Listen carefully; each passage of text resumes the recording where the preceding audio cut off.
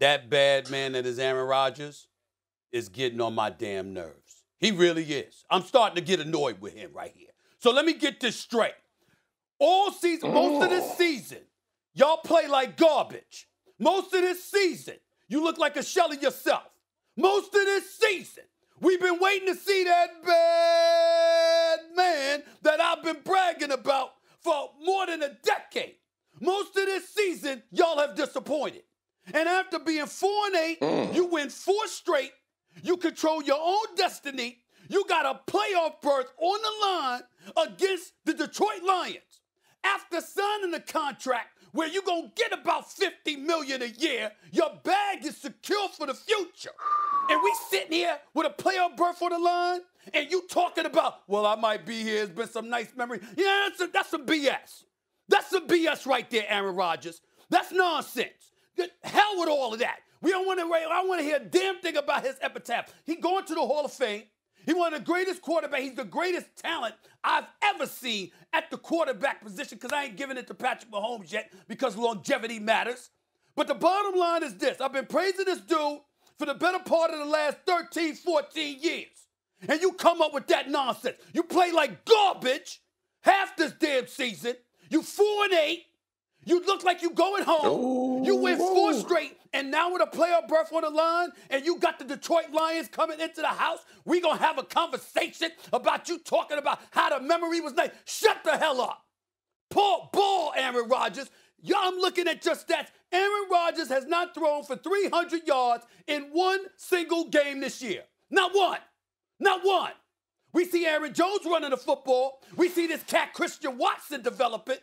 We see Matt LaFleur making adjustments and acting like a damn coach for a change. We see all of that. And right now, with a player berth on the line, you Aaron Rodgers and you talking about the memories of night. Shut the hell up. Shut up. Ball. This Sunday, you got a game. Handle your business. Beat the Detroit Lions. You ain't been to a damn Super Bowl since 2010. Want to hear no damn thing about it's the memories of nice? Handle your business. Dan Campbell and the Detroit Lions are coming in there to wax your butt. What you gonna do about it? Be Aaron Rodgers. Go out there and ball like we know you can. We don't want to hear no nonsense about you going if the memories are nice. Shut the hell up. Whoa. And I'm, I'm sorry to be disrespectful like that, but I'm, I'm I, that pisses me off. We don't want to hear no retirement talk. We don't want to hear a lo- different location. You haven't gotten Lambeau Field and Green Bay to a Super Bowl in 12 years. Get to the damn playoffs. Talk about that when you lose, not when you got a game with a playoff berth on the line. Go ahead. Oh, weak. I, I mean, I don't even know. Usually, I know what to say. I don't even know what to say. This is like uh, this is this is this is family infighting. I never thought I'd see today on first take where, where I got this from you towards Aaron Rodgers. I never thought I would see the day. But but you're tired. This is what happened when you're tired. You know how when the you know how when the parent been telling the kid for a long time, okay, I'm gonna be patient with you, I'm gonna do better. And then you get tired. And then the strap come out. And you just let the strap out. Because it's an immense amount of pressure on Aaron Rodgers and what he needs to do in order to get this team into the playoffs. Listen, let's go all the way back to the offseason. And first of all, let me say this, because y'all know how I am with Aaron Rodgers. Y'all know how I talk about Aaron Rodgers. I got a tremendous, always have had a tremendous amount of respect for his game and his ability to play at such a high level. I actually, I don't know what's happening. I actually think Aaron Rodgers has been really good during this stretch of adversity. I've seen leadership. Yes. I've seen a guy not passing the buck. Earlier in the year, I was pissed off because he kept calling out his wide receivers who had never played a game before. I was upset that he didn't work out in the offseason with these guys. I think that rapport would have been a lot better earlier, and we may not even be in this situation if he would have built some kind of camaraderie and some kind of timing and rhythm with these guys during the offseason. But that's neither here nor there. Aaron Rodgers, over the last five to six weeks, has been a leader, He's been steady. He's been patient.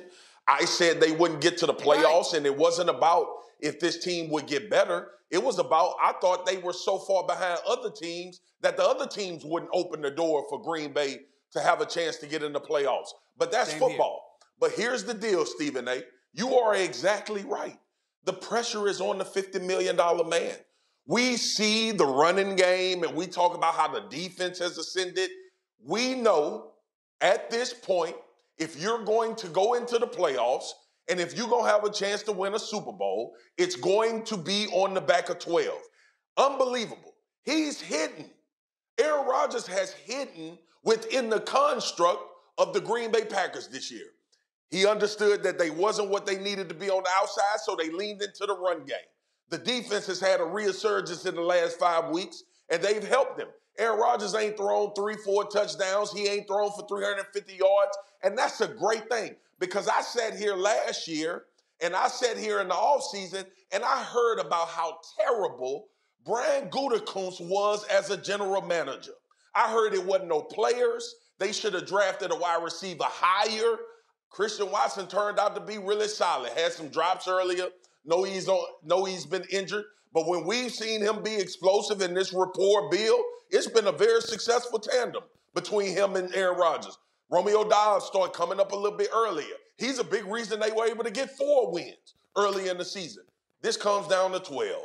It comes down to 12. We're to talk, look, we're to have a conversation about everybody else in the playoff. We're to talk about Dak and it's his failure if they don't make it. We're to talk about Tom Brady. And the only way the Bucs to have a chance if Tom Brady play like he played last Sunday we're going to get into the conversation about Josh Allen playing at a high level. Is he going to be better than Burrow? Is he going to be better than Herbert? Is he going to be better than obviously Patrick Mahomes? So this is about Aaron Rodgers. And I'm with you. This ain't no time for reflection. You'd have fought your way back to need a win to get a chance, get in, into the tournament. This is about Aaron Rodgers, and all of the pressure lies on him. Because you know what else? He's surrounded by a bunch of young players. Thanks for watching ESPN on YouTube. For live streaming sports and premium content, subscribe to ESPN Plus.